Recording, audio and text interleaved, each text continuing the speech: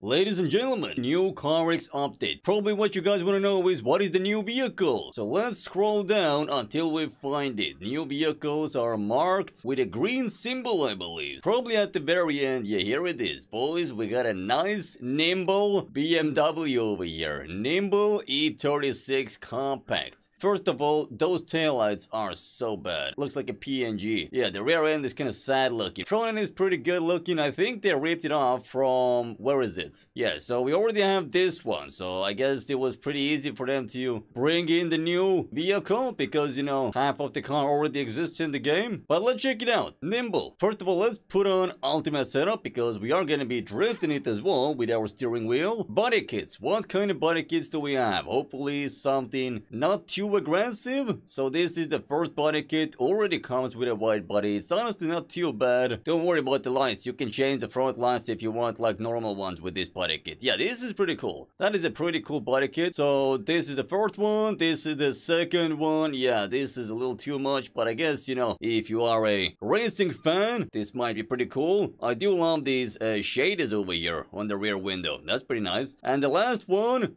is wow okay i love the lips that we have going on and the yellow headlights that looks pretty nice i really like the last one. These panels are very good looking. So i'm actually gonna go with this one. I'm gonna buy that. Let's see what kind of headlight options do we have? So we got stock we got yellow and then we have these weird things and sleepy eyes with the eyebrows and yellow tint version and then couple of darker ones as well. The headlights are pretty good actually. These darker ones are nice as well but I kinda wanna use these yellow ones. I don't know what it is, but an old BMW with yellow headlights can't really beat that. Now for front bumpers, this is the last bumper over here. Okay, I see. So maybe we could even... I think I'm gonna go with this version. It's like nice and wide. Could Honestly, these kind of work. You know what? I'm gonna go with a stock hood over here. Roof options. I guess one of these is shader thing, which, oh yeah. Okay, so nothing too crazy over here. Side mirrors, I mean, I don't really care which one of these we put on, but uh, side skirts. You know what? That looks good. This one is like a curve, like a dent in the middle over here, but this one is like straight like a plank. I like it. And trunk. What do we have? Oh, this is the spoiler area. Maybe a small lip. It looks a little too sad without it, so I think a small lip should be fine. Rear bumper. Let's see, what kind of options do we have over here? Nothing too crazy, can't really change much over here, except if you go into the first one. Yeah, this one I like, so let's grab that. Spoiler. Wait, can we have two spoilers? We already kind of have a spoiler. Oh, if you go on road trips, you can use this as your table. Maybe put a chair over here, have a nice, lovely picnic. No, we're not gonna use that. Taillights. Okay, hopefully some good taillights. Let's see, I'm gonna go over all of these. Hold up, what? what huh?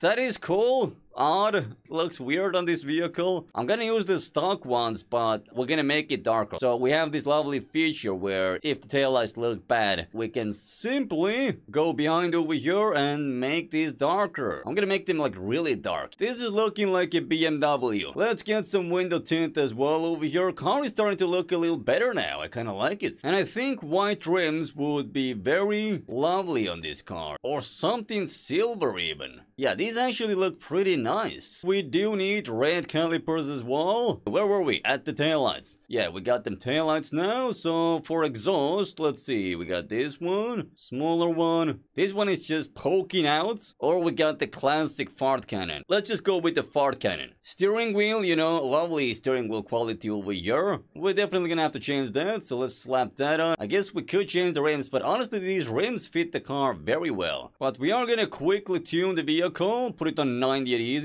and just work on the wheel fitment, get some camber as well. And this is the final product over here. You know what? I like it. This is a really cool looking car. Now, how does it handle? I'm not sure. Usually short wheelbase cars are not that great for drifting, at least on a steering wheel. How much horsepower do I have, by the way? Oh, okay, 900. I think that's even too much. I want to have a little less, I think. Turbo air pressure. Let's bring that down. I'm gonna have it as like 500. There is one thing left to do do, and that is to test out how good is the vehicle. Alright, we're in, so let's let it rip and let's see what the first impressions are over here. Right now in third gear, let me go into fourth. Yeah, 1000 horsepower as it comes with in the ultimate setup. I think that's too much. 500 is really good right now, but I'm really impressed. I remember when most cars that CarX released, the physics were like really bad, but nowadays most cars are so smooth that they release. Like this is actually gonna be one of those cars that I'm gonna be using a lot.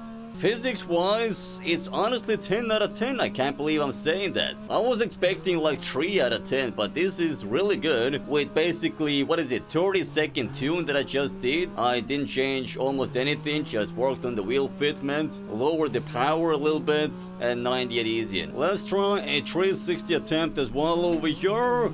And yeah, the car is good. It's really quick as well in terms of like transitioning, but it's not too quick. Most importantly, really easy car to drive. Like this is a car you can recommend to beginners. I'm really happy with the physics and you know, car looking pretty cool as well over here. But there is more to this update, which we gotta cover. So we have a new body kit as well. As you can see, there's an icon over here. Redline S, the Honda S2K, right? So let's check out the new body kit, which is the Master. So not the X1, this is the new one. So oh my god, what have you done, CarX? These are the exhausts over here. It's something. In real life, this would be an excellent body kit for like, I don't know, hill climbing maybe. Cool. New body kit. Then they added a bunch of new stickers. Jeez. Are these new as well? Because I don't remember anyone using these before. Hey, this kind of fits on this car. Yeah, let me put it right over here. Okay.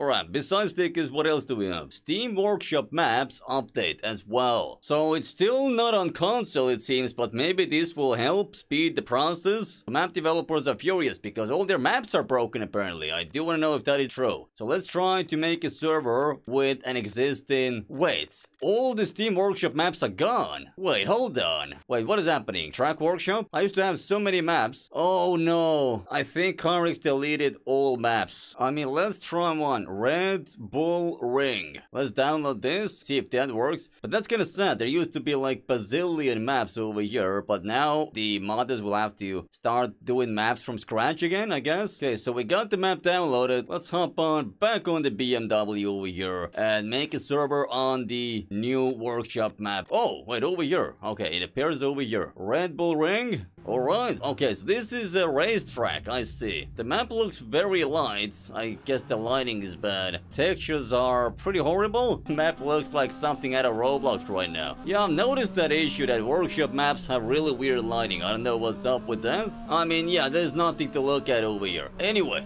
Let's do a couple of 360s with our BMW and park it right over here. Another cool thing they did, if you're tuning the vehicle, if I want to know how low can I slam this so it wouldn't like clip through when the wheels turn when I'm sideways, right? So as you can see, we got a lot of space over here. We can slam it a little more, so let's go lower. What about right now? Does it clip through? Yeah, it's starting to clip through a little bit, so this is a little too low. Let's go a little bit higher, and this seems to fix the issue issue. Yes, so this is good. Okay. Look at this, boys. That's a lot of angle. So we got one BMW, all the Steam Workshop maps deleted. Modders are pretty pissed. Console players are still pissed. I mean, CarX has a long way to go to earn back the trust. And I did hear that one of the stolen body kits, we went over that previously, is still in one of their mobile games. If that is true, guys, let me know. I want to know. Did they actually remove the stolen assets from the mobile games as well? I remember the days when every update was like 3 to 5 cars. And now every single update is like 1 or 2 cars max if we're lucky. So this is the new standard now. Just one car. I was hoping a little more because it seems most of the focus is on their mobile games.